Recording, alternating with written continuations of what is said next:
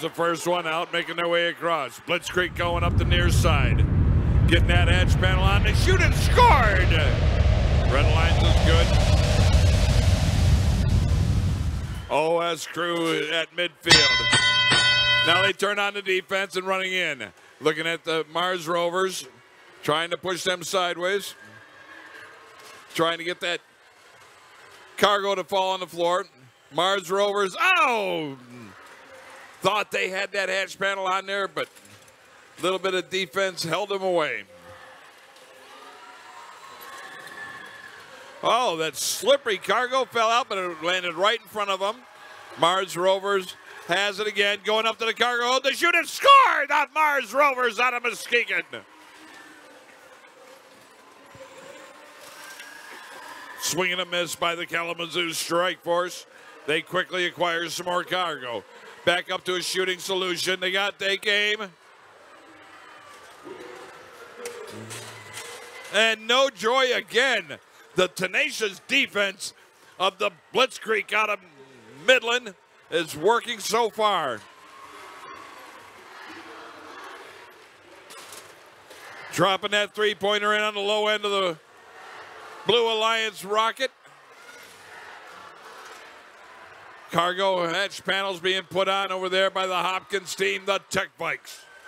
Just under a minute to play here in the rubber game.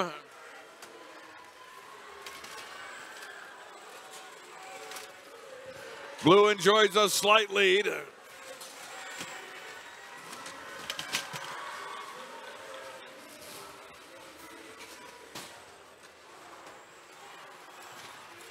Mars Rovers up for another score. And they got it. OS crew up for a level three at 23 seconds left. Hopkins over there on the far side. More hatch panels up on top. That was the Robostangs jumping on that loose cargo. And they got it. Eight seconds left.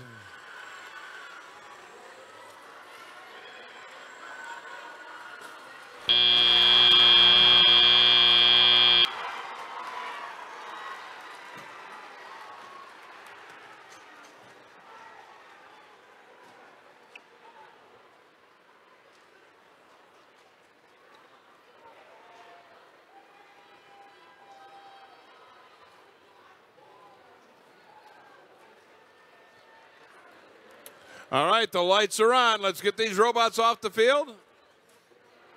And I'm ready to find out who our champion is. Show us those scores.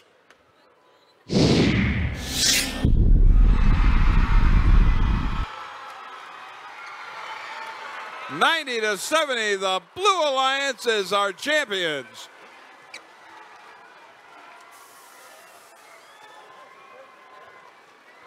Going right into awards. And so our number two alliance of 2767, 7769, and 548 are our DTE champions. Let's also have a nice hand for 2054 Tech Vikes, 4004 Mars, and 3770 Blitz Creek, our finalists.